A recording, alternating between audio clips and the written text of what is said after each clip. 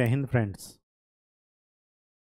Current affairs में international relations की series हम लोगों की चल रही थी और उसी सीरीज़ में मैं ये आशा करता हूँ कि आप लोग अच्छे से समझ रहे होंगे और इंटरेस्ट ले करके चीज़ों को रटने की बजाय समझने पर ध्यान दीजिएगा। मुद्दे वही रहते हैं, केवल और केवल रेफरेंस बदल जाता है। इंटरेस्ट परमानेंट रहता है, जहाँ भी इंटरेस्ट है, वहाँ पर इशूज़ रहेंगे, ठीक? और इसी कड़ी में हम लोग वेस्ट एशिया की तरफ़ थे। वेस्ट एशिया का हमने एक पार्ट देख लिया था और आज हम देखते हैं केवल और केवल इसराइल पर बात करते हैं। तो आज का मुद्दा और वेस्ट एशिया वो हमेशा करंट अफेयर्स में रहेगा ही रहेगा, ठीक? क्योंकि कोई भी नहीं चाहता कि उस मुद्दे का समाधान हो, ठीक? जब तक दो पक्ष आपस में जो लड़ रहे हैं, अगर वो ये ना समझें यहाँ इसका समाधान निकालना ज़रूरी है, कब तक लड़ाई लड़ते रहेंगे, तब तक उसका समाधान नहीं हो सकता। कोई तीसरा व्यक्ति दो के बीच में आकर के समाधान कराएगा, कोई सुपर पावर, ऐसा कुछ नहीं होगा, ठीक? तो ये मुद्दा हमेशा न्यूज़ में बना रहेगा। कुछ एक रिवीजन कर लेते हैं। रिवीजन क्यों कर रहे हैं, वो मैं अभी आपको बताता हूँ। वर्ल्ड मैप की बात करूँ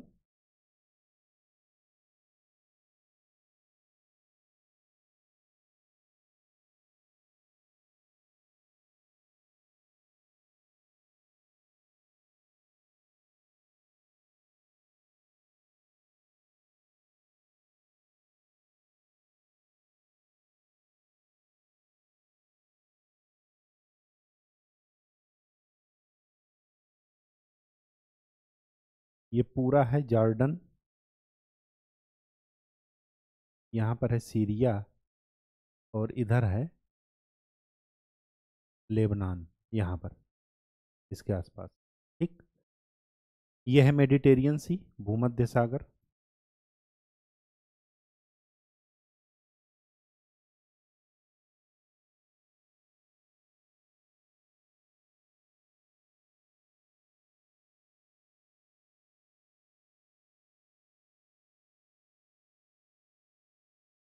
इधर से स्वेज नहर गई है और ये इलाका है मिस्र का, इजिप्ट। ये है स्वेज कैनाल। स्वेज नहर, ठीक? ये रेड सी है। तो स्वेज कैनाल क्या करती है? रेड सी को मेडिटेरियन सी या भूमध्य सागर से जोड़ती है। ठीक।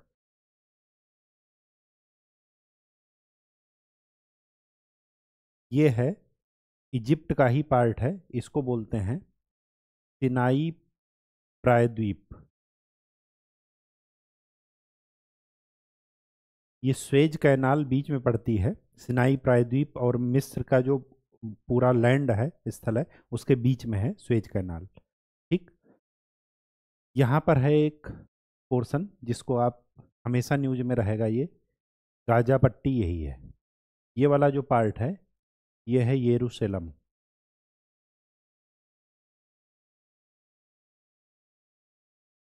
ठीक? इसको ईस्ट और वेस्ट दो पार्ट में डिवाइड किया गया है। ठीक? यहाँ पर एक जगह है, उसको बोलते हैं येरूशलम। ये पूरा पार्ट है, जिसको बोलते हैं वेस्ट बैंक। वेस्ट बैंक का मतलब पश्चिमी किनारा। ये किसका पश्चिमी किनारा है? यहाँ से एक रिवर बह रही है, जिसका नाम है जॉर्डन। तो जॉर्डन रिवर का ये वेस्ट वाला पार्ट है, रिवर। इस वजह से इसको वेस्ट बैंक बोलते हैं। ये जो बीच का पार्ट है, जॉर्डन रिवर और मेडिटेरियन सी के ये जो बीच का पार्ट है, that is called Israel.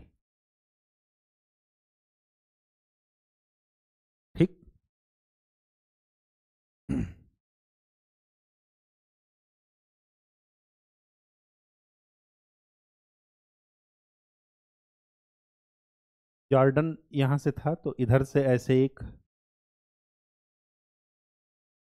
ये था क्या? अरब प्रायद्वीप। अरब प्रायद्वीप में भी ये क्या था? इधर था यमन। और ये क्या था? ओमान।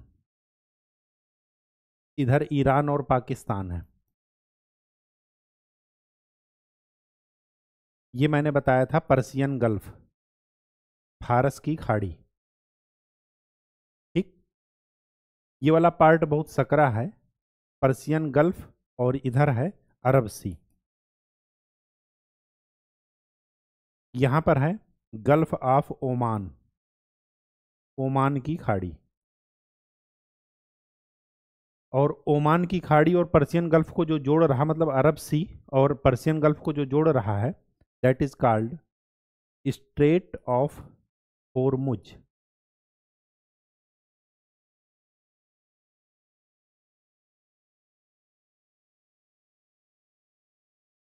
Hormuz जल संधि ये इंपॉर्टेंट लगा लीजिएगा क्योंकि आपके मैप में पूछा जाता है, ठीक?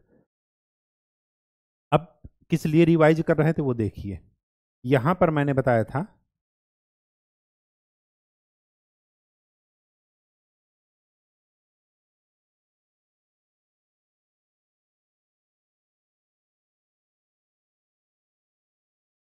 ये पूरा है रेड सी, इधर, ये इधर है अफ्रीका, ठीक?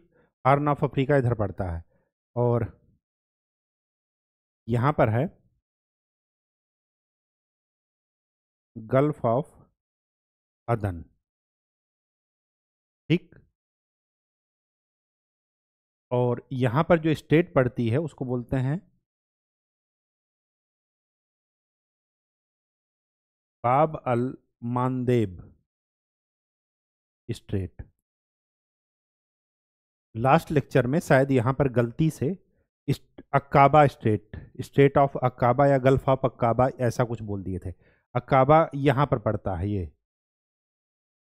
जहाँ पर इजराइल का लास्ट वाला पार्ट रेड सी से जोड़ता है, ये है गल्फ ऑफ़ अक्काबा। अक्काबा की खाड़ी। तो इसको करेक्ट कर लीजिएगा। ठीक गल्फ ऑफ़ अक्काबा वहाँ पर है रेड सी में और रेड सी और इधर इंडियन ओशन को जो जोड़ रहा है, वो है बाब अल मंदेब स्टेट और यहाँ पर है अदन की खाड़ी गल्फ ऑफ़ अदन ठीक? बात समझ में आ गई?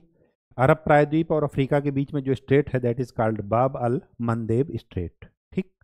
तो ये जो रहा ध्यान से इसको करेक्ट कर लीजिएगा और ध्यान भी रखिएगा। ठीक? ये चीज़ें पूछी जाती हैं।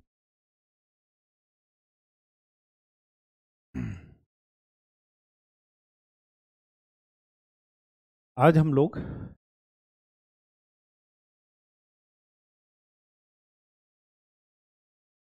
इजराइल के जन्म की कहानी पढ़ेंगे और जन्म की कहानी से लेकर के अब तक का सफ़र तय करेंगे।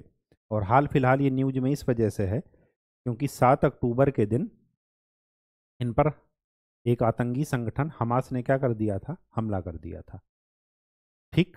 और वो हमले के जवाब में सौ दिन से ज़्यादा हो गए और ये अभी तक क्या है? हमास को पूरी तरीके से विनष्ट करने के लिए युद्ध लड़ रहे हैं। ठीक? देखिए, हुआ क्या?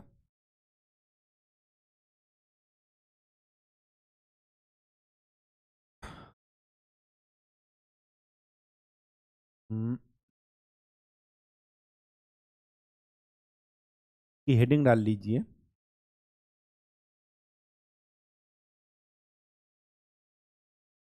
इज़राइल, फिलिस्तीन, संघर्ष। ठीक? और यहाँ से इसके इतिहास से बात शुरू करते हैं।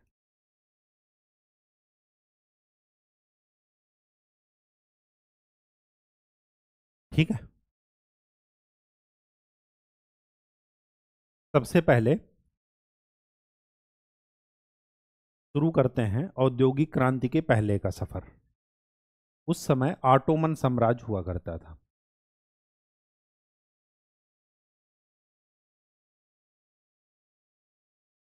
या इसको बोलते हैं उस्मानिया साम्राज्य। इनका लीडर था टर्की जिसको आप तुर्की ये बोलते हैं आज के समय। इस समय देखिए, स्वाभाविक सी बात है कि वहाँ पर पूरे रीजन में मुस्लिम पॉपुलेशन, अरब के लोगों की पॉपुलेशन क्या है? ज़्यादा है। तो सबसे पहले वहाँ पर यहूदी क्या थे? अल्पसंख्यक अल्पसंख्यक माइनॉरिटी में और अरबी लोग ये क्या करते थे? बहुसंख्यक। और इनमें आपस में छुटपुट घटनाएँ क्या होती थी? होती रहती थी। ठीक।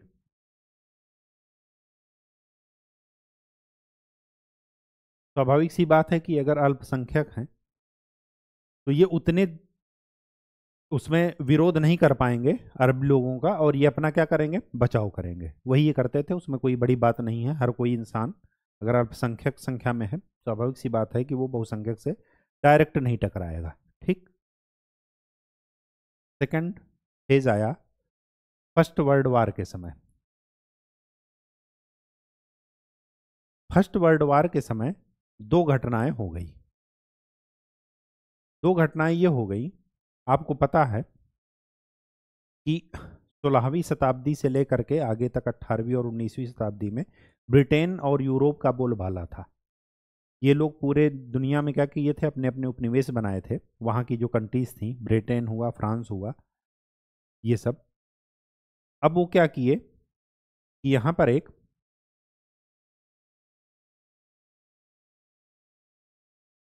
समझौता हुआ।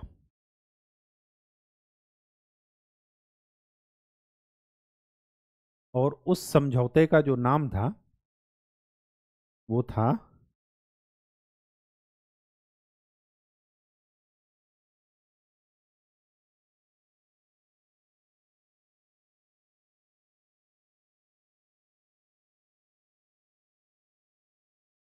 फ़र्स्ट वर्ड मैं भूल रहा हूँ, सेकंड वर्ड मुझे याद है, पिकोट समझौता। एक्साई या करके कुछ नाम था, ऐसा। हम्म चलिए, अभी याद आएगा तो मैं बता दूँगा, ठीक? ये समझौता था, इसके तहत क्या हुआ कि जो शुरुआत में कौन था? ओनली फिलिस्तीन। यहाँ पर कौन था?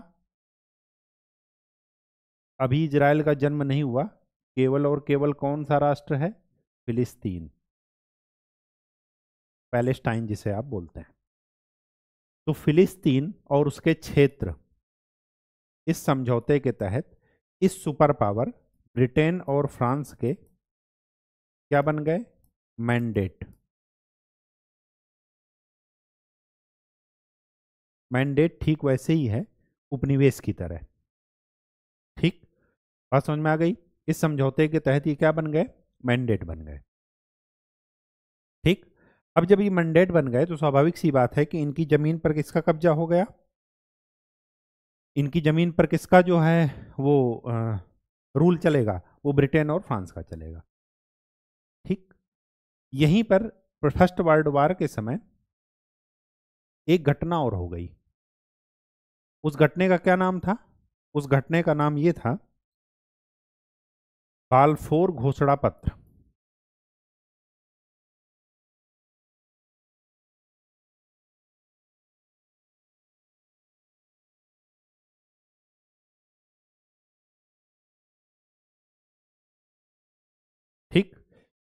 इस, ये घोषणा पत्र और ये समझौता, ये दोनों फ़र्स्ट वर्ल्ड वार के समय की बात है और इस घोषणा पत्र में कहा गया ब्रिटेन के द्वारा।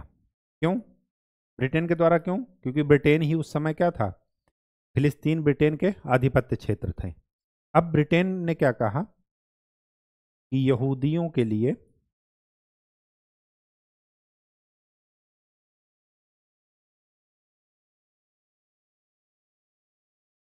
देश की बात। कहाँ पर? या ये कहिए, यहूदियों को फिलिस्तीन में बसाने की बात ब्रिटेन ने कही।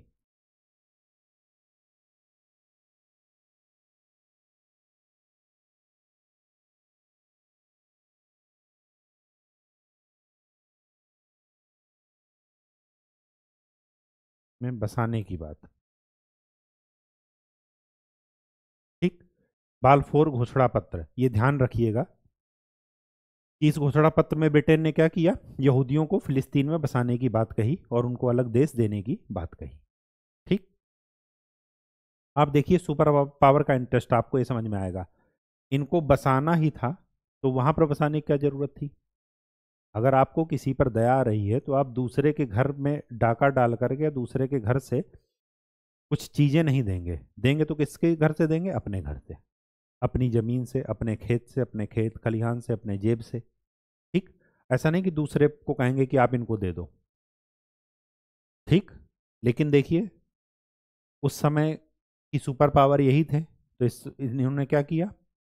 बालफोर घोषणा पत्र के द्वारा फिलिस्तीन के जो पार्ट था मतलब फिलिस्तीन की जो ज़मीन थी, उस पर यहूदियों को बसाने का इन्होंने निर्णय लिया और उनको एक अलग देश देने की बात कही। अब क्या हुआ?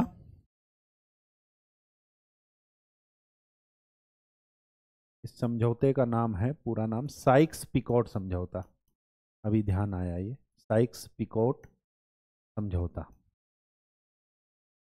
ठीक, ये दोनों बालफोर घोषणा पत्र और साइक्स पिकोट समझौता, इन दोनों में मिलता जुलता यही बात थी कि ब्रिटेन ने इजराइल को फिलिस्तीनी धरती पर बसाने की बात कही, यहूदियों को। अभी इजराइल का नाम नहीं आया। ठीक? अब थर्ड सेकेंड वर्ल्ड वार के समय। सेकेंड वर्ल्ड वार के समय एक नई चीज़ जगी, वो दुनिया के हर एक देशों में जगी और उसी का परिणाम था कि उसके बाद धड़ाधड़ लोगों ने क्या किया? अपनी स्वतंत्रता की घोषणा करनी शुरू कर दी। एक विचारधारा थी जिसको बोलते हैं नेशनलिज्म राष्ट्रवाद।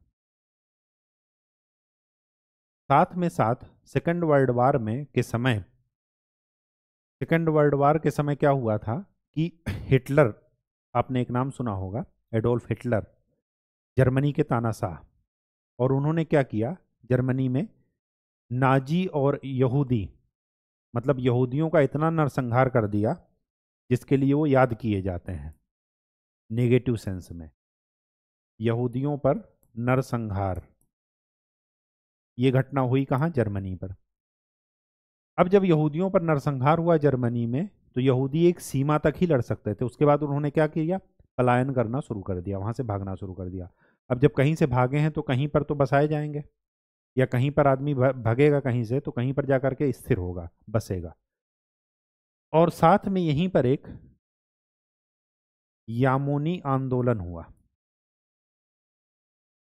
इस आंदोलन में ये कहा गया कि दुनिया में जितने भी यहूदी हैं, वो इस धरती पर, जेरूसलम को उन्होंने क्या किया?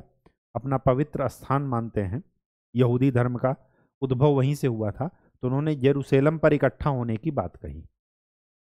यामोनी या जामोनी आंदोलन भी बोलते हैं। ये तीन घटनाओं के कारण क्या हुआ? यहाँ की डेमोग्राफी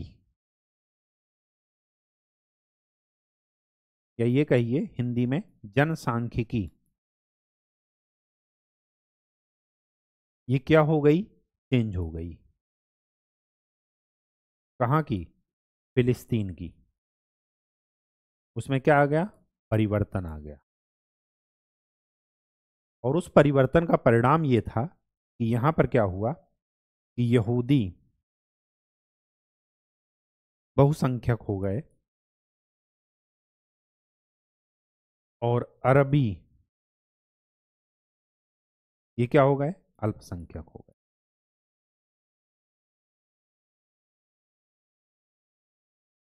सेकंड वर्ल्ड वार के समय ये हुआ। छिटपुट घटनाएँ इनके बीच में आपस में लड़ाई चलती रहती थी यो अरबी और यहूदियों में। ठीक?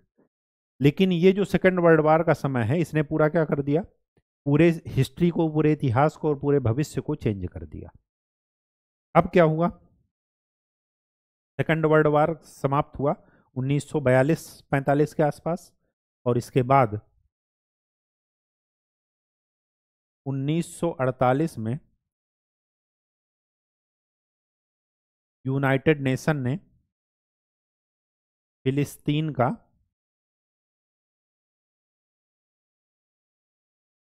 विभाजन कर दिया।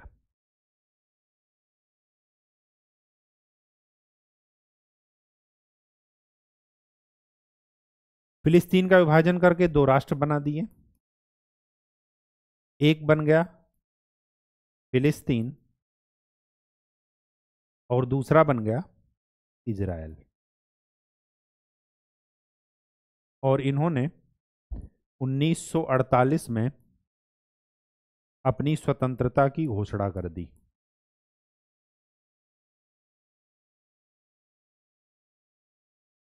इंटरेस्टिंग बात यह है कि इसके पहले, ये किसके मैंडेट थे? ब्रिटेन और फ्रांस के, जो कि उस समय की सुपर पावर थी बीसवीं शताब्दी की। उसके बाद क्या हुआ? इक्कीसवीं सॉरी जब ये यूनाइटेड नेशन का गठन हुआ 1945 में, और इसके बाद इनमें आपस में लड़ाई होती रही, लेकिन अब ये बहुसंख्यक हैं तो स्वाभाविक सी बात है कि ब्रिटेन यहाँ से भागना चाहेगा, सत्ता क्या करेगा? सौंपेगा किसी को। तो वो क्या किए? संयुक्त राष्ट्र सभा में गए संयुक्त राष्ट्र में। और वहाँ पर क्या हुआ? संयुक्त राष्ट्र ने ये डिसीज़न दिया कि इसका एक ही सोल्यूशन है कि यहूदियों को उनकी धरती, ये किस लिए वहाँ पर यहूदी क्या करके वो कर रहे थे? सिर्फ़ और सिर्फ़ जेरूसेलम के कारण। ये उसको क्या करते थे? अपने धर्म का पवित्र स्थान मानते थे। कि यही हमारे उद्भव की क्या है? धरती है। हम यहीं पर बसेंगे। और बसते बसते इतना ज़्यादा बस गए इन्होंने क्या कर दिया? वहाँ की डेमोग्राफी को चेंज कर दिया। इस डेमोग्राफी को चेंज करने के लिए तीन वजहें रिस्पॉन्सिबल थी। एक था राष्ट्रवाद की भावना, दूसरा उन पर, यूरोप पर अत्याचार हो रहा था और तीसरा ये जो यामोनी आंदोलन था, जिसकी, जिसमें जो है यहूदियों के नेता ने क्या किया था कि दुनिया भर के जितने भी यहूदी हैं वो इसराइल में आकर के बसें। ये उन्होंने क्या किया था? आह्वान किया था लोगों से, यहूदियों से। ठीक? अब संयुक्त राष्ट्र ने यहाँ पर क्या डिसीज़न दिया कि यहाँ पर टू स्टेट थ्योरी इसको बोला जाता है। दो, राज्यों का अस्तित्व अलग अलग फिलिस्तीन और इजराइल। इजराइल ने अब ब्रिटेन से अपनी स्वतंत्रता की घोषणा कर दी 1948 में। अब स्वाभाविक सी बात थी कि जैसे ही ये हुआ तो ये क्या किए? धर्म के नाम पर लोगों को लामबंद करना शुरू किए। और उसमें सबसे अजीब बात ये थी कि जो भी अरब राष्ट्र थे, वहाँ पर देखिए अरब प्रायद्वीप है पूरा। ये सब Yemen, Saudi Arab, U, United Arab Emirates, मिस्र, ठीक? ये सब क्या है? ये सब अरबी कंट्रीज़ हैं, मुस्लिम कंट्रीज़ ठीक? अरबी भाषा वहाँ पर बोली जाती है, ठीक? अब क्या हुआ ये, इन अरब कंट्रीज़ को क्या हुआ कि उन्होंने इस डिसीज़न को मानने से इनकार कर दिया। अब इस डिसीज़न को मारने, मानने से इनकार कर दिया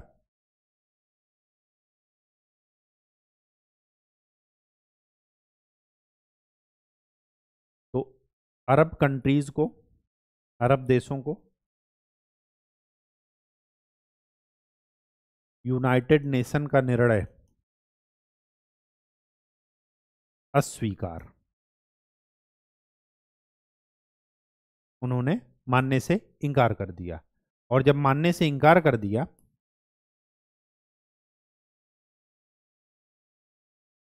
तो अरब देशों ने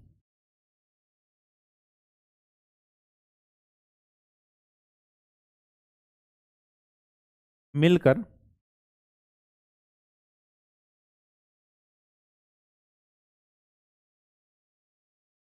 इज़राइल पर हमला कर दिया।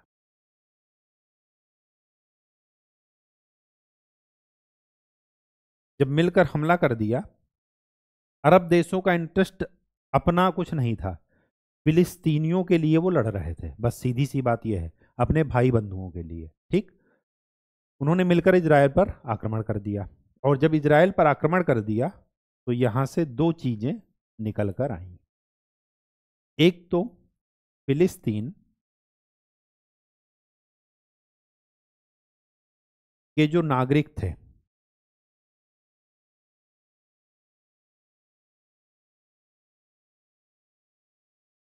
वो अपनी ही ज़मीन पर विस्थापित हो गए। अपनी ही ज़मीन से विस्थापित। शरणार्थी के तौर पर आ गए। और दूसरी बात। अरब। इजराइल। अरब का मतलब अरब भी हो सकता है, कंट्रीज़ भी हो सकते हैं और साथ में फिलिस्तीन भी, यहाँ पर लिख लीजिए। अरब ऑब्लिक फिलिस्तीन। इस युद्ध का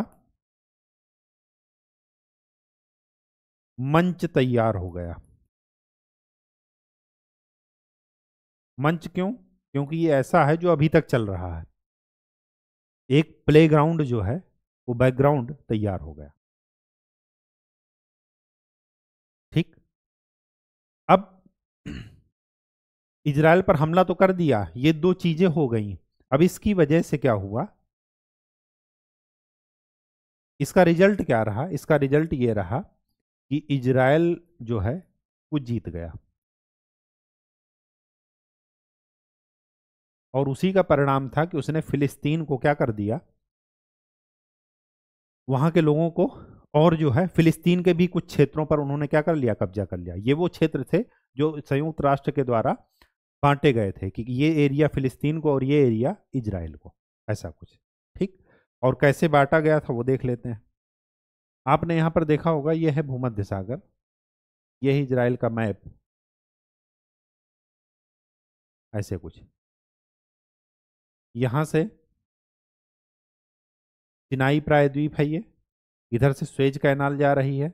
ये मिस्र जुड़ा है। ठीक? तो यहाँ का ये वाला इलाका गाजा पट्टी। गाजा पट्टी इसी को बोलते हैं। इजराइल के पश्चिम में है ये। भूमध्य सागर से लगा हुआ इलाका। और यह है जार्डन नदी का वेस्ट बैंक। ये है जार्डन नदी इधर से चली आ रही है। ये है उसका इलाका वेस्ट बैंक। तो संयुक्त राष्ट्र ने क्या किया?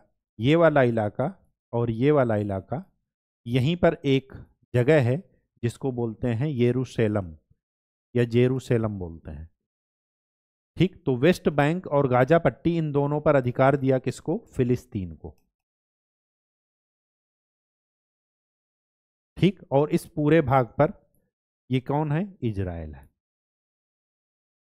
आपने भारत पाकिस्तान का युद्ध सुना होगा 1971 का। सुना है? उसमें पाकिस्तान के हारने की सबसे बड़ी वजह यह थी।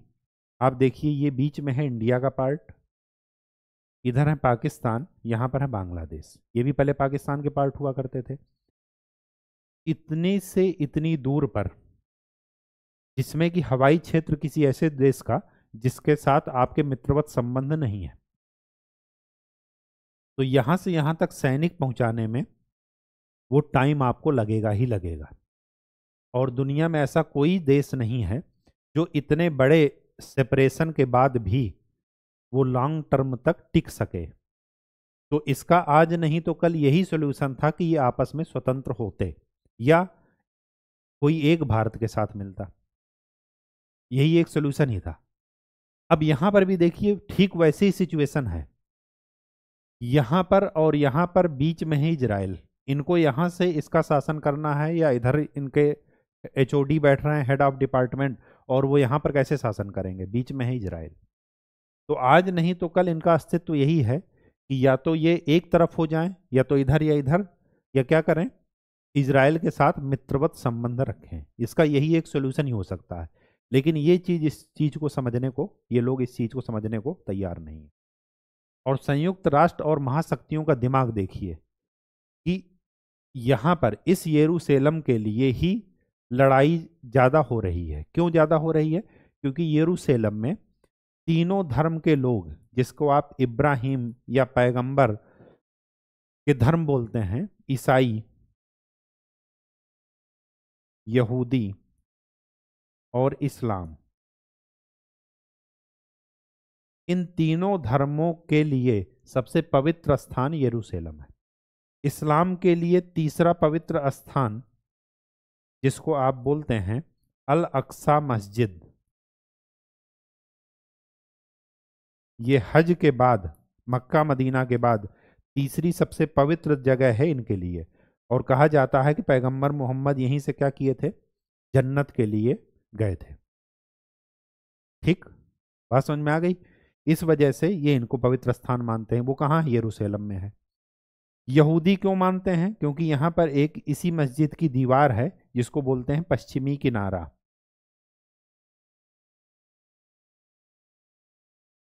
ये इनके लिए पवित्र स्थान है। और ईसाई क्यों वो कर रहे हैं? ईसाई ये कर रहे हैं कि यहाँ पर एक चर्च है, हॉली स्क्वायर करके उसका नाम है। इस, ईसाई इस वजह से मानते हैं कि यहीं पर इनको ईसा मसीह को सूली पर चढ़ाया गया था और उसी के बाद जो है वो क्या किए थे? कुछ दिनों बाद वो वापस से जीवित हुए थे। तो इन सभी धर्मों का आपस में इस स्थान से जुड़ाव है। इसी के लिए ये लोग लड़ाई कर रहे हैं। लड़ाई किस, क्या कर रहे हैं?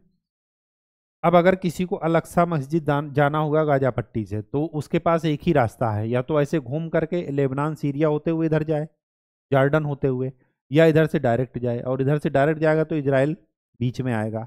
इसराइल के साथ उसके मित्रवत संबंध होने ज़रूरी हैं। ठीक? बात समझ में आ गई? अब क्या हो रहा है? ये तो थी बात उस समय की जब विभाजन हुआ था। ठीक? 1948 में धीरे धीरे क्या हुआ? इसराइल ने जब स्वाभाविक सी बात है, जब बीच में लड़ाई हुई तो यहाँ पर ये क्या करिए? कब्जा करना शुरू कर दिए। यहाँ पर अलग अलग बस्तियाँ बसाना शुरू कर दिए, यरूशलेम में यहूदी बस्तियाँ, टुकड़ों में। ठीक? अब जहाँ पर आप लोगों को, यहूदी लोगों को बसाएँगे, या अपने लोगों को, स्वाभाविक सी बात है कि धीरे धीरे वो क्या करेंगे? उस रीजन को भी कैप्चर कर लेंगे। अपने अधिग्रहण क्षेत्र में ले लेंगे। ठीक? तो ये तो बात थी 1948 की।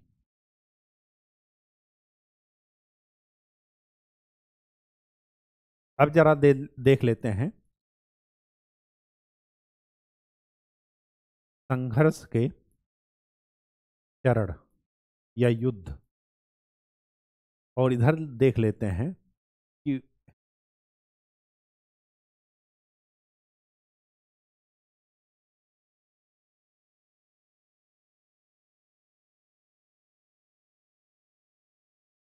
शांति का इतिहास। मतलब शांति समझौते और ये सब कैसे कैसे संघर्ष और शांति एक साथ चल रही है। तो पहला हुआ 1948 में युद्ध।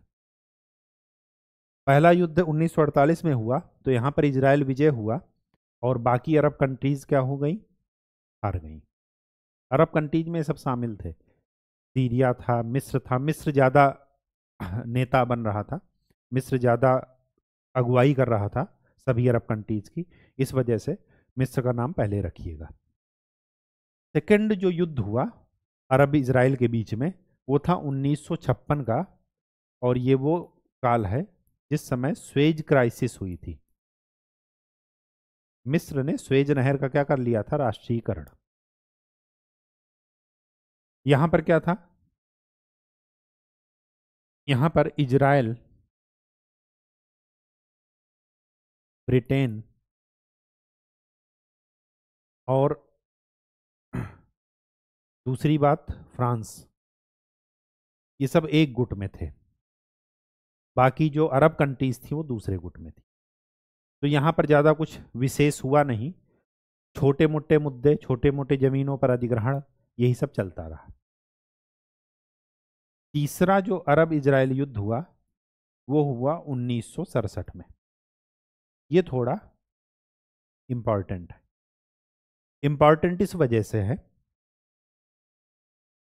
क्योंकि अगर आप पश्चिम एशिया का मैप देखेंगे तो ये है इजराइल का पार्ट यहाँ से लगता हुआ है सिनाई प्रायद्वीप। ये सिनाई प्रायद्वीप आज के डेट में मिस्र के पास है। तो उन्नीस सौ सड़सठ के युद्ध में इजराइल ने इस पर भी कब्जा कर लिया और इसी प्रायद्वीप से लगती हुई जो पट्टी है, वो क्या है? गाजा पट्टी। तो गाजा पट्टी पर भी कब्जा हो गया। सीरिया ऊपर है, सीरिया के पास एक स्थान है, जिसको बोलते हैं golden heights. Sorry, golden heights.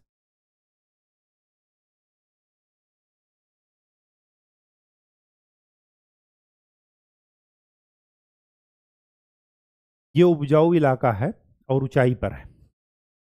ठीक? स्ट्रेटजिक पॉइंट ऑफ़ व्यू से इसराइल के लिए और सीरिया के लिए ये दोनों के लिए इंपॉर्टेंट है। सीरिया अगर इस पर कब्जा करेगा तो इसराइल पर नज़र रखेगा और अगर इसराइल कब्जा करेगा तो सीरिया पर नज़र रखेगा।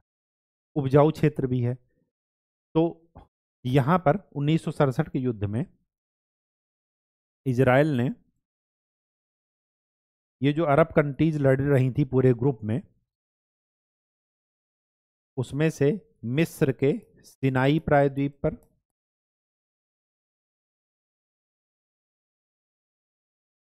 सीरिया के गोलन हाइट्स पर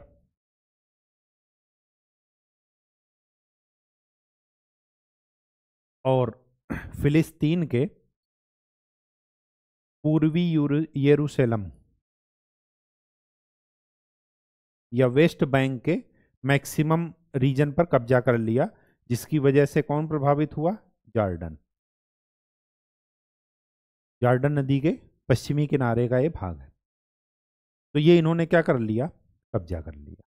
गाजा पट्टी पर भी कब्जा कर लिया इसराइल ने। फिर क्या हुआ? इधर यरूशलेम पर भी कब्जा कर लिया, जबकि यरूशलेम और गाजा पट्टी किसके अधिकार क्षेत्र में थे? फिलिस्तीनियों के। ठीक?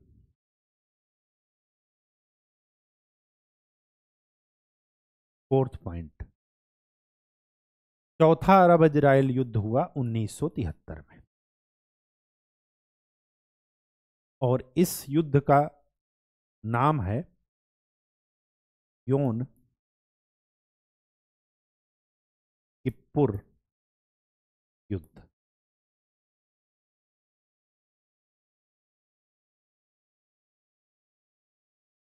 फोर्थ अरब इजराइल ठीक?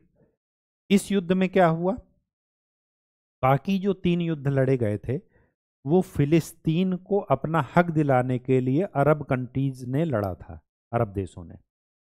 लेकिन इस युद्ध का उद्देश्य फिलिस्तीन को अपना हक दिलाना नहीं था। इस युद्ध का उद्देश्य अपनी ज़मीन पर इजराइल का कब्जा छुड़ाना था, जो इजराइल ने कब्जा कर रखा था। बात समझ में आ गई? पहले जो तीन युद्ध थे, वो फिलिस्तीनियों का हक दिलाने के लिए अरब कंट्रीज़ द्वारा लड़े गए थे, लेकिन उसमें सफल नहीं हो पाए। लेकिन जो इस युद्ध का उद्देश्य था, वो फिलिस्तीनियों को अपना अधिकार या अपनी ज़मीन दिलाने की बात पर नहीं था। इस युद्ध का उद्देश्य था कि जो हमारी ज़मीन पर इसराइल का कब्जा है, उसको हम क्या करें? इजराइल से छीन लें।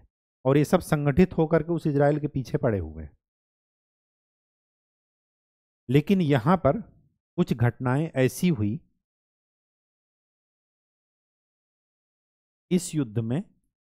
आप इस युद्ध को इंपॉर्टेंट क्यों कह रहे हैं? क्योंकि इसका उद्देश्य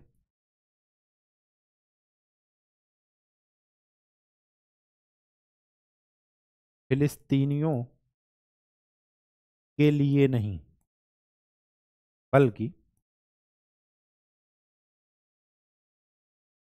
अपने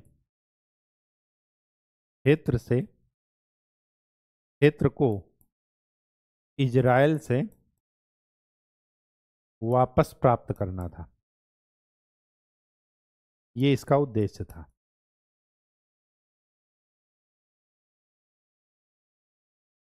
और यहाँ पर इंटरेस्टिंग बात यह है कि दो सुपर पावर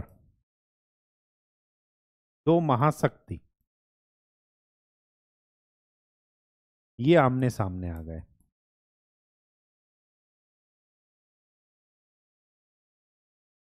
दो महाशक्ति कौन कौन सी? इजराइल के साथ था अमेरिका। और अरब कंट्रीज़ के साथ था रसिया।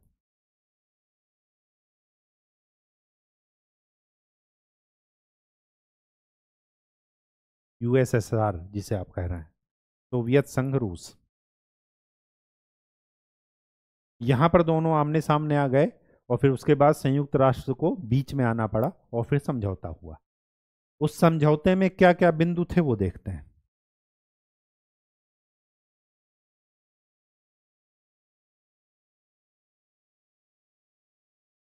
मिस्र।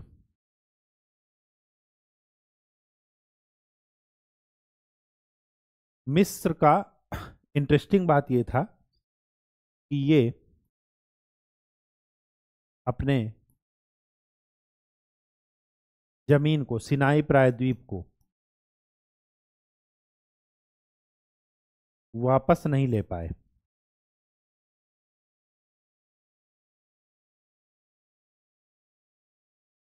बल्कि पूरी तरह से अमेरिका के साथ आ गए। मैंने आपको बताता हूँ ना कि चाहे वो व्यक्तिगत जीवन हो और चाहे वो देश की बात चल रही हो, अंतर्राष्ट्रीय संबंध हो, सबसे पहला है अपना हित, अपना इंटरेस्ट बाकी सारी बातें बाद में, यारी, दोस्ती, मित्रता, सब कुछ बाद में। और ये देखिए लाइव एग्ज़ाम्पल अरब कंट्रीज़ को सोचना चाहिए। अगर कोई आपसे ज़्यादा ताकतवर है, आप जान रहे हैं कि उसको हरा नहीं सकते। क्यों? क्योंकि ये चौथी बार इन्होंने ट्राई किया था, वो भी संगठन में, फिर भी इसराइल को नहीं हरा पाए। जब नहीं हरा पाए तो इन्होंने क्या सोचा कि जब हम इससे अपना क्षेत्र लड़ाई करके नहीं ले पा रहे हैं तो दोस्ती करके ले लें। और फिर इन्होंने क्या किया? पूरी तरीके से अमेरिका के साथ आ गए। फिर अमेरिका ने बीच बचाव करके इसराइल के द्वारा जो सिनाई प्रायद्वीप अधिग्रहित किया गया था मिस्र का, वो क्या किया गया? वापस दिया गया। किसको? मिस्र को। इस पॉइंट से आप ये लिंक सोचिए कि जब ये चौथी बार भी नहीं लड़ पाए संगठन में तो फिर इन्होंने क्या किया? इन्होंने दोस्ती कर ली। और अरब कंट्रीज़ को इस बात से सोचना चाहिए।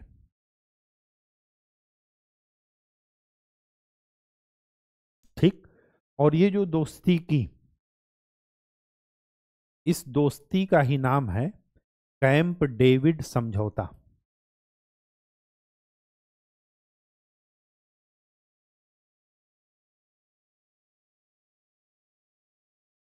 उन्नीस सौ अठहत्तर।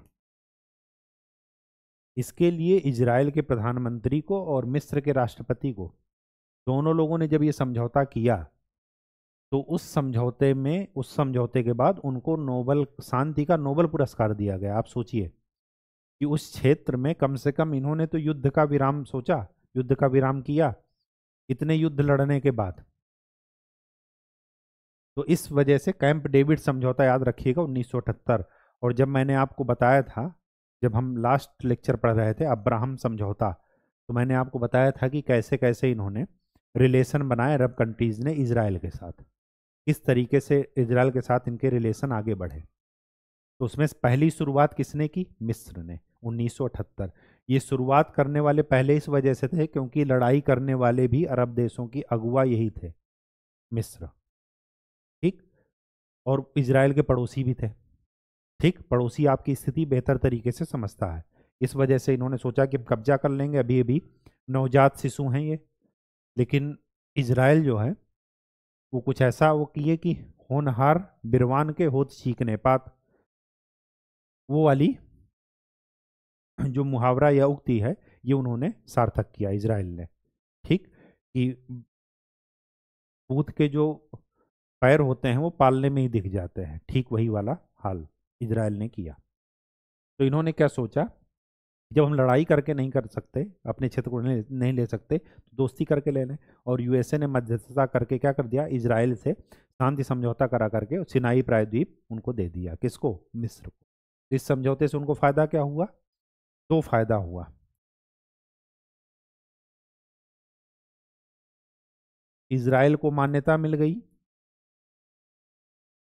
क्योंकि अरब कंट्रीज़ ने शुरुआत से ही उसको मान्यता नहीं दी थी। ठीक? उन्होंने कहा था कि हम इससे समझौता, जो संयुक्त राष्ट्र ने किया निर्णय, उसको हम स्वीकार करते हैं। ठीक? एक तो मान्यता मिल गई और दूसरा, क्षेत्र में स्थिरता आ गई, शांति आ गई। ठीक? इस युद्ध से सीरिया को क्या मिला? सीरिया को कुछ नहीं मिला, बल्कि गोलन हाइट्स पर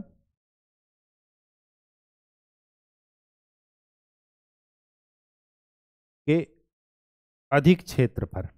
पहले जितना क्षेत्र इजराइल ने कब्जाया कब्जाया था, उससे ज़्यादा क्षेत्र पर इजराइल ने कब्जा कर लिया।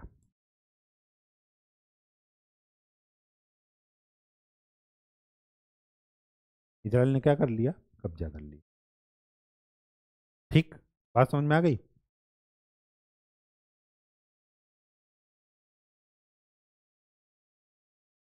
तीसरा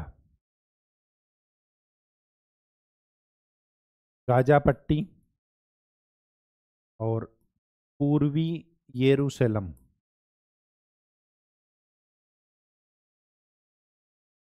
इस पर भी क्या हुआ? इज़राइल का कब्जा।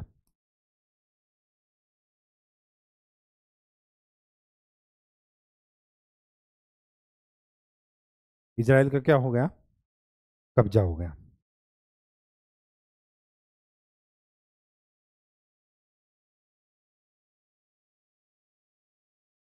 इज़राइल को क्या मिला? इज़राइल युद्ध में जीत तो गया, लेकिन इसकी छवि को नुकसान।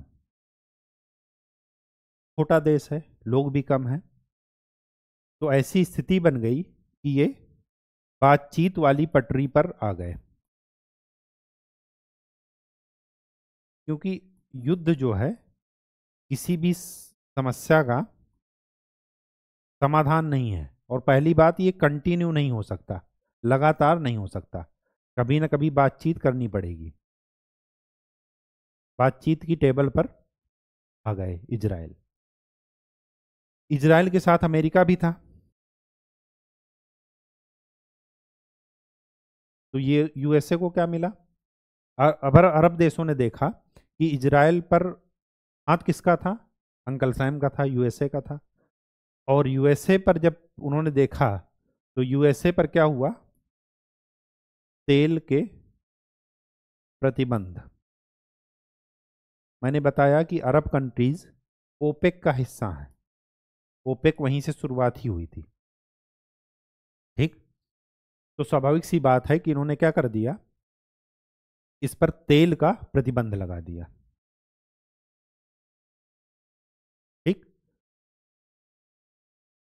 अब देखिए, अंतर्राष्ट्रीय, कैसे दो देशों की पॉलिसीज़ कैसे दो देशों की नीतियाँ अंतर्राष्ट्रीय राजनीति को प्रभावित करती हैं। Invention is necessity is mother of invention आवश्यकता क्या है? आविष्कार की जननी है। ये दुनिया ने पहली बार फेस किया था और ऐसा बोल्ड डिसीज़न दुनिया के सामने पहली बार अरब देशों ने रखा था कि अग जो हमारा सपोर्ट नहीं करेगा, उसको हम तेल नहीं देंगे। और पूरी राजनीति, पूरा विश्व किस पर चल रहा है आजकल? पेट्रोल पर, डीजल पर। वो हमारे क्या हैं? ऊर्जा के संसाधन हैं। सारी इकोनॉमी को अगर क्रैश करना हो तो पेट्रोल, डीजल आप रोक दीजिए। अपने आप इकोनॉमी क्रैश कर जाएगी। क्यों? क्योंकि टेक्नोलॉजी का डेवलपमेंट एक लॉन्ग टर्म प्रोसेस है। एक दिन में चीज़ें नहीं बनती। ठीक, रिसर्च एंड डेवलपमेंट में क्या लगता है? टाइम लगता है। उसको कास्ट इफ़ेक्टिव करने में टाइम लगता है। अब देखिए, जब 1973 के युद्ध में ये सब हुआ, ओपेक कंट्रीज़ ने प्रतिबंध लगा दिया तो यहीं से एक जब लोगों को समझ में आया कि एनर्जी क्राइसिस हो जाएगी तो एक संस्था का जन्म होता है, जिसको नाम देते हैं आईईए। International energy agency. इसकी स्थापना क्या हुई? 1973 में। और किसके कारण हुई? जब ओपेक कंट्रीज़ ने तेल पर क्या लगा दिया था? उत्पादन कम कर दिया था। और बहुत ज़्यादा तेल के प्राइसेस क्या हो गए थे? बढ़ गए थे। तो सस्टेनेबल एनर्जी के लिए इसकी स्थापना की गई थी 1973 में। तो ये पॉइंट यहीं पर नोट कर लीजिएगा। और इससे आपको ये भी पता चलेगा कि कैसे दो देशों की राजनीति पूरे विश्व को ग्लोबलाइजेशन इसी वजह से कहा जा रहा है। एक घटना पूरे विश्व को प्रभावित कर देगी। ठीक?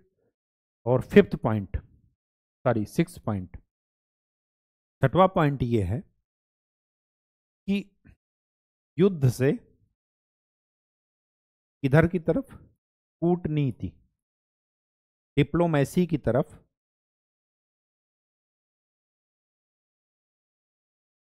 विश्व व्यवस्था का क्या हुआ? रूपांतरण।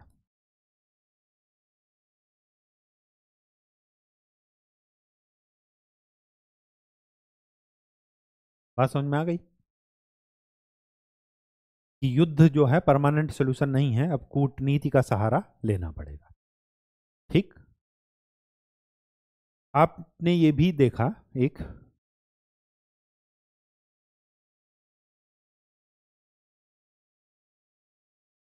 उन्नीस के युद्ध में एक चीज़ और लिख लीजिएगा।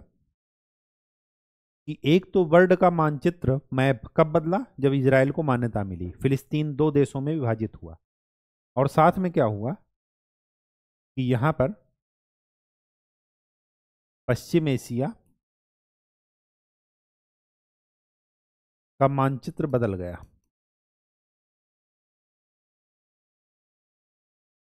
क्यों कह रहे हैं मानचित्र बदल गया? इज़राइल का जगह जगह पर कब्जा।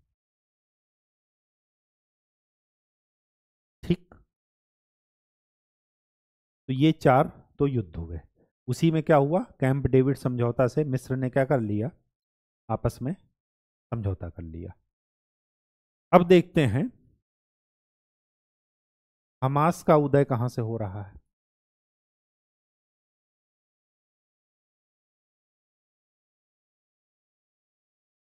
सबसे पहले एक संगठन बना फतेह।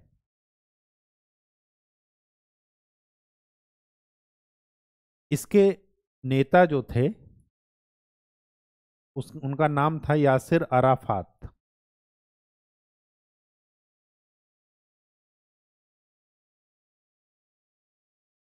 इन्होंने क्या किया? सशस्त्र विद्रोह के माध्यम से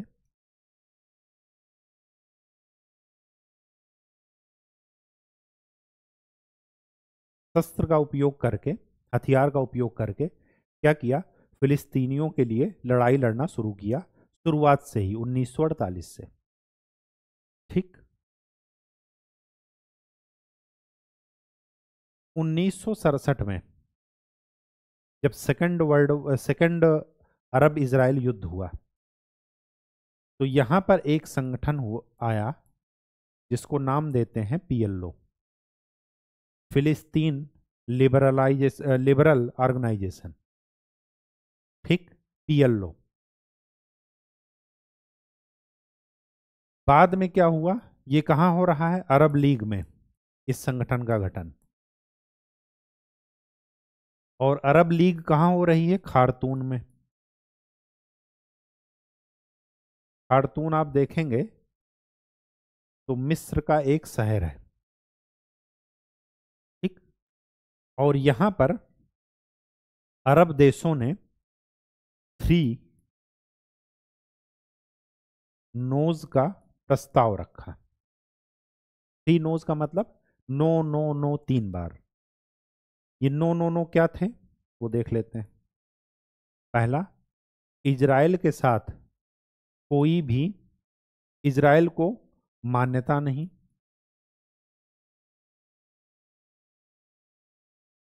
जब मान्यता नहीं तो कोई भी बातचीत नहीं होगी, वार्ता नहीं होगी। और जब बातचीत नहीं होगी तो कोई भी समझौता नहीं होगा।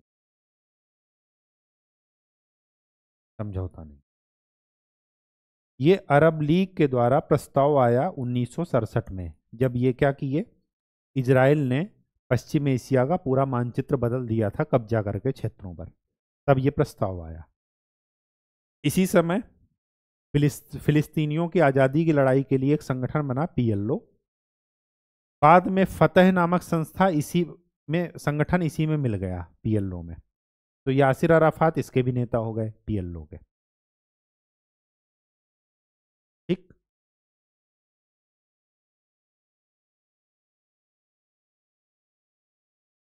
उन्नीस सौ सतासी के आसपास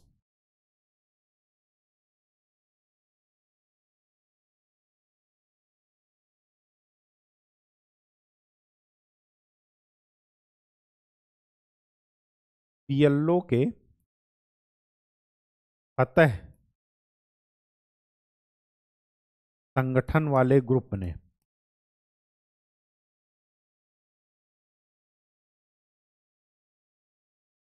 जब ये जान गए कि हम चार युद्ध लड़ चुके हैं अरब कंट्रीज़ के साथ, फिर भी इसराइल को नहीं हरा पाए तो इन्होंने दो काम किया। कौन से ग्रुप ने? फतेह वाले ने, जो पीएलओ में मिल गया था।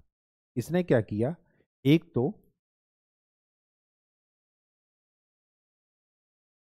इज़राइल को मान्यता दे दी। मतलब इजराइल का एग्जिस्टेंस स्वीकार कर लिया। ठीक? और दूसरा क्षेत्र में शांति के लिए विद्रोह और हथियारों या हिंसा का रास्ता छोड़ दिया। कहा कि अब लड़ाई जो है ये इसका हल नहीं है। इसका हल यही है कि दोनों देश एक दूसरे को मान्यता दे करके शांति से रहें। अब ध्यान से देखिए। पहले बंदूक उठाए, उसके बाद गांधी जी बन गए। तो जो दूसरा गुट था, पीएलओ का, उसने क्या किया? अपने आप को ठगा सा महसूस किया कि हम तो बेकार में इनके लिए लड़ रहे थे और यहीं से शुरुआत होती है हमास की 1990 के आसपास से। तो उन्नी, पीएलओ का दूसरा जो ग्रुप था, वही क्या बन गया? हमास। ठीक?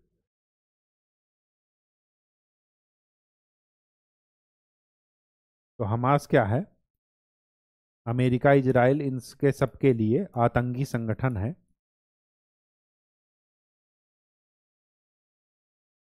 और इस आतंकी संगठन के जो मतलब सपोर्ट करने वाले देश हैं, वो है लेबनान का एक ग्रुप है हिजबुल्ला ये ठीक वैसे ही है, जैसे हमास है। यमन का एक ग्रुप है, जो है हूती। ये ग्रुप मैच करने के लिए पेपर में आएगा तो ज़रा चीज़ें ध्यान रखिएगा। ठीक? कहानी की तरह ही खाली मत सुनिएगा। चीज़ें थोड़ा ध्यान में रखिएगा। ठीक? तो ये सब क्या है?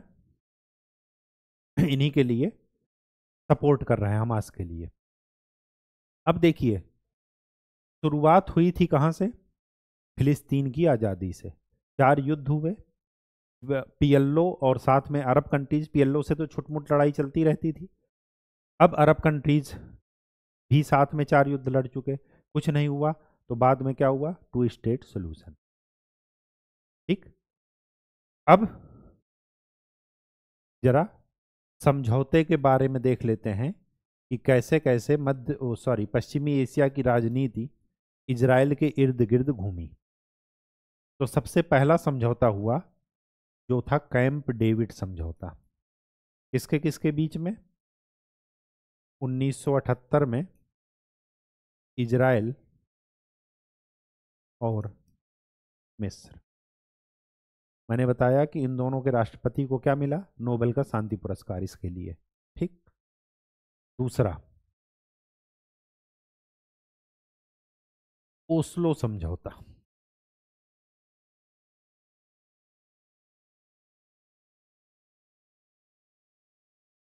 ओस्लो समझौता हुआ उन्नीस सौ तिरानवे में। ठीक? ओस्लो क्या है? नॉर्वे की राजधानी। ठीक? नॉर्वे जो नॉर्डिक कंट्रीज़ हैं, ऊपर देखिएगा यूरोप में, वहाँ पर नॉर्वे मिलेगा आपको। नॉर्वे, स्वीडन और डेनमार्क। ठीक? पोलैंड, ये सब उधर ही हैं। ठीक है? अब क्या हुआ कि ओस्लो समझौता जब हुआ नॉर्वे में। तो ये किसके किसके बीच में हुआ? इजराइल और पीएलओ के बीच में। दोनों ने एक दूसरे को मान्यता दे दी और शांति की बात की। टू स्टेट सोल्यूशन माना एक दूसरे। पीएलओ ने एक काम और किया। फिलिस्तीन के जो अधिकार क्षेत्र वाले क्षेत्र हैं गाजा पट्टी और यरूशलेम, उसमें क्या किया? पैलिस्टेनियन अथॉरिटी के नाम से, फिलिस्तीनी प्राधिकरण के नाम से एक संगठन को क्या किया परमिशन दी और कहा कि फिलिस्तीन पर प्रशासन यही करेंगे। और इनका चुनाव फिलिस्तीनी लोग करते थे, उनके नेताओं का। इन्हीं के नेता हैं इस समय। आप लोग नाम सुने होंगे। महमूद अब्बास। ये कौन है? इसी पेलेस्टीनियन अथॉरिटी के क्या हैं? नेता हैं, जो क्या कर रहे हैं? फिलिस्तीन के प्रधानमंत्री के तौर पर काम कर रहे हैं, जिनका प्रशासन क्षेत्र गाजा पट्टी और वेस्ट बैंक का इलाका है। ठीक? तो ये हुआ ओस्लो समझौता। थर्ड। जार्डन के साथ समझौता। जार्डन के साथ समझौता हुआ उन्नीस सौ चौरानबे। ये जब हम लास्ट लेक्चर पढ़ रहे थे, लास्ट लेक्चर में हमने बता रखा है आपको। ठीक? फोर्थ।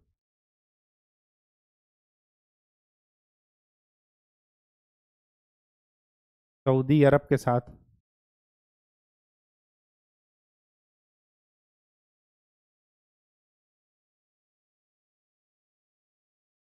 पांचवा, अब्राहम। समझौता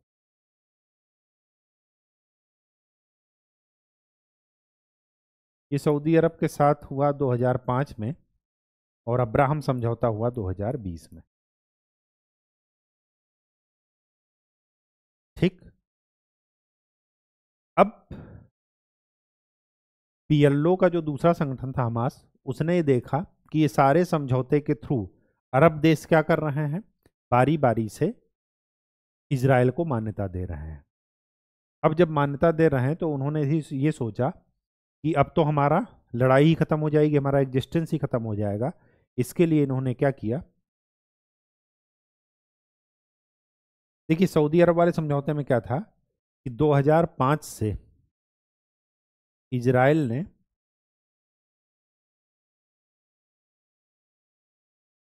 डिस इंगेजमेंट पॉलिसी के तहत डिस इंगेजमेंट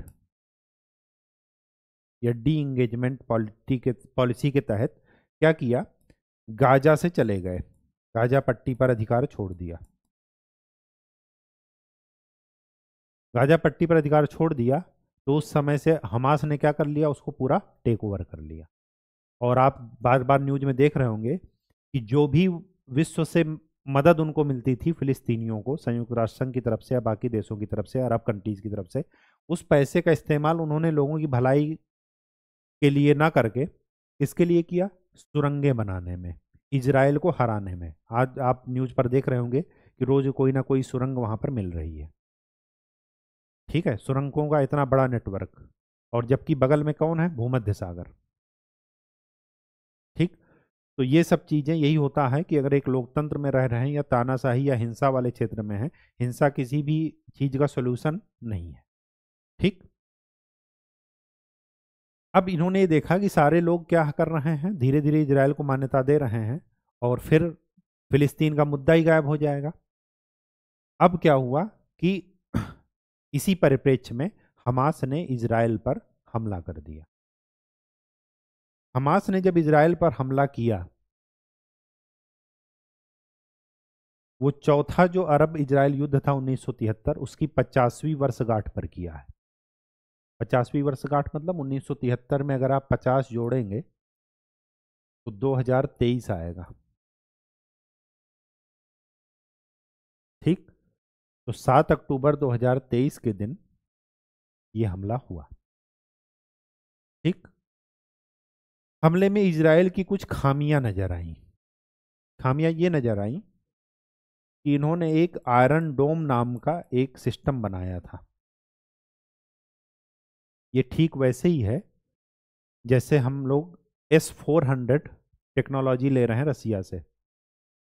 ये क्या करता है? ऐसा वायु क्षेत्र सत्तर किलोमीटर तक की रेंज में जो भी मिसाइल इसके क्षेत्र में आएगी, उसको ये क्या कर देगा? हवा में ही नष्ट कर देगा। इजराइल की धरती पर वो गिर नहीं पाएगी। और जब इजराइल के वो सॉरी, हमास के लड़ाके इसकी धरती पर आकर के आक्रमण करते हैं और करीब आधे घंटे या बीस मिनट में उन्होंने पाँच हज़ार रॉकेट इन पर हमला कर दिया। सोचिए। बीस मिनट में पाँच हज़ार रॉकेट हमास ने हमला कर दिया किस पर? इजराइल पर। और ये सिस्टम कुछ नहीं कर पाया। ट्रैक ही नहीं कर पाया। समझ गया? जबकि इसका काम ही यही था, क्या? कि ट्रैक करना और उसको हवा में ही क्या कर देना, नष्ट कर देना, वो धरती पर ना गिरे। तो इस इजराइल की एक खामी ये नज़र आई। दूसरा जो उनका इंटेलिजेंस है, मोसाद, वो वर्ल्ड में नंबर वन पर है। और उनकी भी खामी नज़र आई कि उनको कोई इनपुट नहीं मिला। या इतना हमला इतनी तेज़ी से और इतनी बड़ी मात्रा में कैसे हो गया? सौ डेढ़ सौ लोग मारे गए इसराइल के। ये था। इसराइल ने जो हमास के विरुद्ध ऑपरेशन किया अनाउंस किया, उसका नाम है ऑपरेशन स्वार्ड।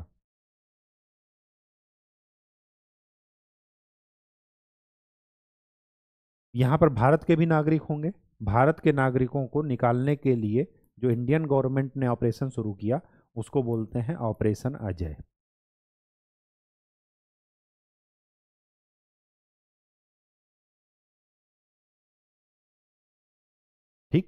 ये ऑपरेशन याद रखिएगा बार बार पूछा जाएगा आपसे। ठीक? कि ऑपरेशन अजय कब और किसके लिए शुरू किया गया? ठीक?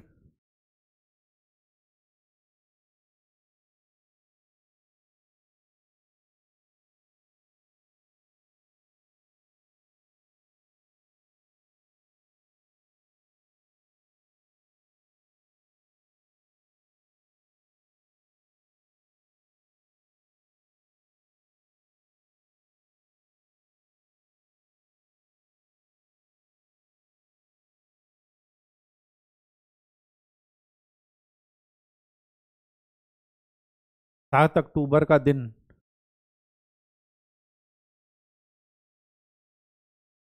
ये यहूदियों का सबसे मुख्य दिन होता है, अधिकतर छुट्टियाँ रहती हैं, सब्त का दिन इसे बोलते हैं। ठीक है तो उस दिन हमला किया गया ताकि वो लोग उस समय रिलैक्स थे। और इसका नाम था Al Aqsa flood. Al Aqsa तूफ़ान के नाम से हमास ने क्या किया था? हमला किया था। ठीक? कुछ चीज़ें जान लेते हैं। कि इस युद्ध का या पश्चिम एशिया में जो भी चीज़ें होंगी, उसका बाकी विश्व या भारत पर, विश्व, भारत भी क्या है? विश्व के देशों में ही है। क्या प्रभाव पड़ेगा?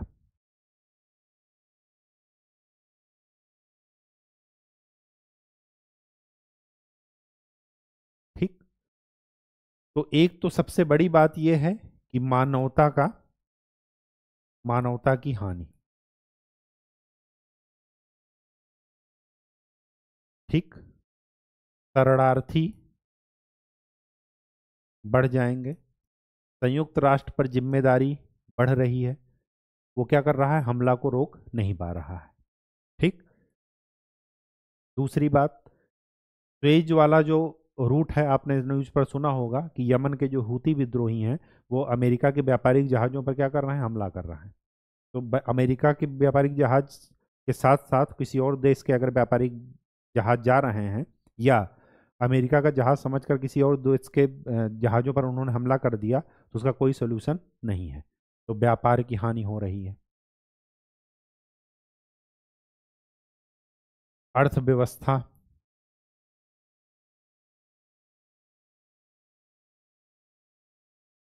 वो भी इकोनॉमी क्या हो रही है? डाउन होगी। फिर मध्य सॉरी, पश्चिम एशिया के क्षेत्र क्या हैं? तेल उत्पादक देश हैं। तो तेल की कीमतें क्या होगी? बढ़ेंगी। और तेल की कीमतें बढ़ेंगी तो एक साइकिल के रूप में ये सभी चीज़ों की महँगाई क्या कर देंगी? बढ़ा देंगी। ठीक?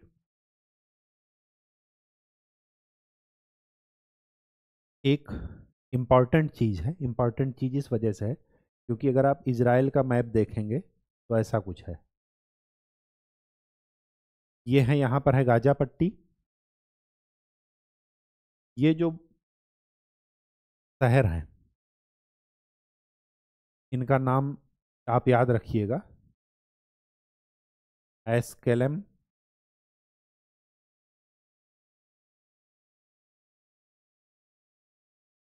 एसडोब तेल अवीव तेल अवीव क्या है? इसराइल की राजधानी है। और एक शहर है यहाँ पर अंदर, हाइफा। इसमें से एशडोब या एशडोड एशडोड शायद कहते हैं इसको। डी ओ डी इस पर स्टार लगा लीजिए इंपॉर्टेंट लगा लीजिएगा, क्योंकि ये जो है क्या है, इसको पोटास पोर्ट के नाम से भी जानते हैं। यहाँ से पूरे वर्ल्ड का थ्री परसेंट पोटास बाहर भेजा जाता है, निर्यात किया जाता है। तो पेट्रोल के साथ साथ अगर पोटास की कमी हुई तो ये कृषि क्षेत्र के लिए क्या है, उर्वरक है। तो हमारी कृषि क्या होगी? डाउन होगी। उत्पादन क्या होगा? डाउन होगा।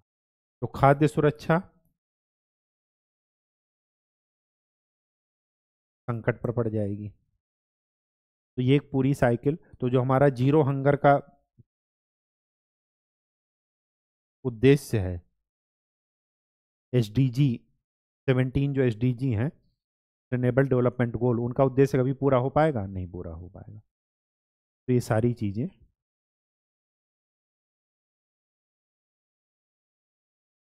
कुछ आपको लास्ट लेक्चर में भी बता दिए हैं। भारत का जरा रुख देख लेते हैं। कुछ इंपॉर्टेंट पॉइंट है। पहली चीज़ भारत के रुख में आप ये ध्यान रखिएगा। जब 1948 में इजराइल ने अपने स्वतंत्रता की घोषणा की, या ये कहिए संयुक्त राष्ट्र संघ ने इजराइल को मान्यता दी, उस समय भारत ने इसका विरोध किया।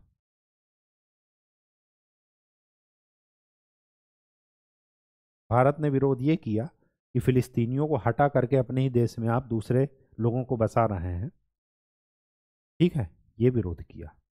लेकिन साथ में ये भी चेंज आ गया। 1950 में इजराइल को भारत ने मान्यता दे दी।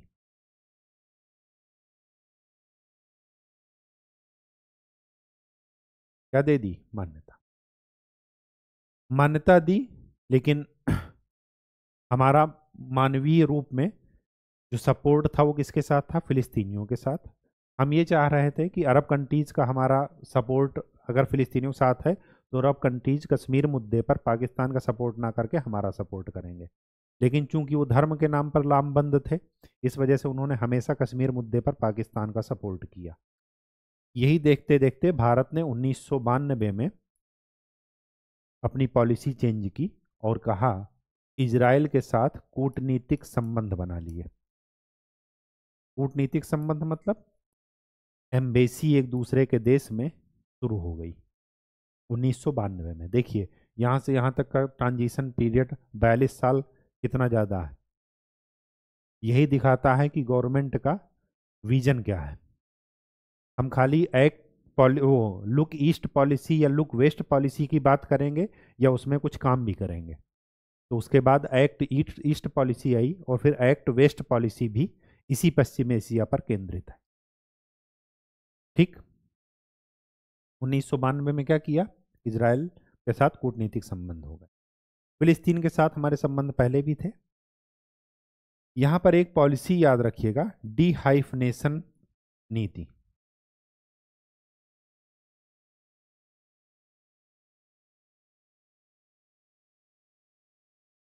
डी हाइफनेशन नीति। ये ये कहती है, इस नीति का इस्तेमाल भारत के इजराइल और फिलिस्तीन के साथ संबंधों के लिए किया जाता है। ये नीति ये कहती है कि इजराइल के साथ और फिलिस्तीन के साथ संबंध हमेशा अलग अलग हैं हमारे और अपने अपने उनके दोनों के इंटरेस्ट हैं। कभी भी हम एक संबंध को वरीता देने के लिए दूसरे संबंध को क्या करेंगे? नज़रअंदाज नहीं करेंगे। और यही कारण है। इसके बाद देखिए, भारत आतंकवाद से पीड़ित था। हमास क्या है? एक आतंकी संगठन है। भारत ने इसराइल का खुलकर सपोर्ट किया कि आप आतंकवाद के लिए हमारी भी ज़ीरो टॉलरेंस पॉलिसी आपको जो भी मदद चाहिए हम करेंगे, लेकिन आतंकियों के साथ कोई समझौता नहीं। लेकिन साथ में भारत ने फिलिस्तीन को भी क्या की? मदद पहुंचाई मानवता के नाम पर कि हम, ये जो आप गाजा में आम नागरिकों को मार रहे हैं, ये गलत है। साथ में ये भी कहा। तो इसी को क्या बोलते हैं? डिहाइफनेशन पॉलिसी ठीक है? पश्चिम एशिया में एक चीज़ और नोट कर लीजिएगा। ये लास्ट लेक्चर में आपको बताना भूल गए थे।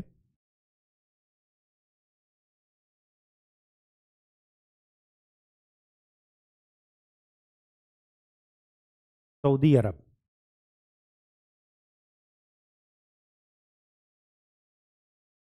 यूएई ये दोनों केंद्र पे रख करके हमने मध्य एशिया सॉरी, पश्चिम एशिया पढ़ा था। और इन दोनों के मध्य के केंद्र में हमने ये बताया था कि भारत के लिए ये व्यापार के रूप में, पेट्रोलियम उत्पादों के रूप में कैसे क्या है, महत्वपूर्ण है। ठीक? बात समझ में आ गई? अब क्या है? एक चीज़ वहाँ पर बताना मैं भूल गया था। इसकी राजधानी अबू धाबी।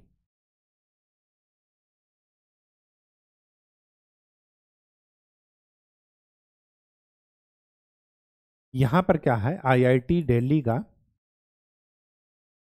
एक कैंपस बनने जा रहा है, विदेशी धरती पर। यह थोड़ा इंपॉर्टेंट है। इससे क्या होगा? कि छात्रों का आदान प्रदान आपस में संस्कृतियों का आदान प्रदान प्रोफेसर्स का आदान प्रदान, ये सब होगा। तो हमारे संबंध क्या होंगे? ऊर्जा क्षेत्र के अलावा भी क्षेत्रों से क्या होंगे? जुड़ेंगे आपस में। सांस्कृतिक जुड़ाव तो है ही। ये भी एक नोट कीजिएगा ये किसी विदेशी धरती पर आईआईटी का बनने वाला दूसरा कैंपस है। पहला कैंपस कौन था? पहला कैंपस बन रहा था तंजानिया में। ये भी अफ्रीका में है। ये जो युद्ध का परिणाम भारत के साथ हुआ, बाकी देशों ने भी क्या कर लिया? जैसे अब हमास ने युद्ध कर लिया और हमास मुस्लिम होने के नाते मुस्लिमों को लामबंद कर रहा है, अरब कंट्रीज़ को लामबंद कर रहा है और आप देखिए कि इस समय मुस्लिमों का बचाव कोई नहीं कर रहा, चाहे वो मुस्लिमों का कोई कितना भी बड़ा नेता अपने को कहे। क्यों? क्योंकि हिंसा का कोई भी सपोर्ट नहीं कर रहा। अगर इस समय अरब देश उनको बचाते हैं तो इसका मतलब ये हुआ कि वो क्या कर रहे हैं? आतंकवाद को सपोर्ट कर रहे हैं। और आज नहीं तो कल। वो भी क्या होंगे? उससे पीड़ित होंगे। इसलिए ध्यान रखिएगा कि हिंसा का कोई भी मतलब किसी भी बात, किसी भी मैटर का हल हिंसा नहीं होगा। कहीं ना कहीं आपको जा करके रुकना पड़ेगा। धीरे धीरे वार्ता आगे बढ़ रही थी। टू स्टेट सोल्यूशन ही इसका लास्ट सोल्यूशन है। वो भी जो है, कई बार आपके एग्ज़ाम में पूछा गया है कि दुई राष्ट्र सिद्धांत किस मुद्दे पर किया जा रहा है।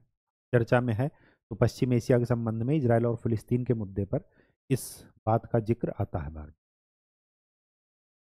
और बाकी राष्ट्रों पर क्या इफ़ेक्ट पड़ा? कि इस हमले से जो अरब देश इसराइल को बार बार मान्यता देकर के कूटनीतिक संबंध बढ़ा रहे थे, अब्राहम समझौते के साथ चाहे बहरीन, यूएई ने बढ़ाए हों या जॉर्डन मिस्र ने बढ़ाए हों, अब वो क्या कर रहे हैं?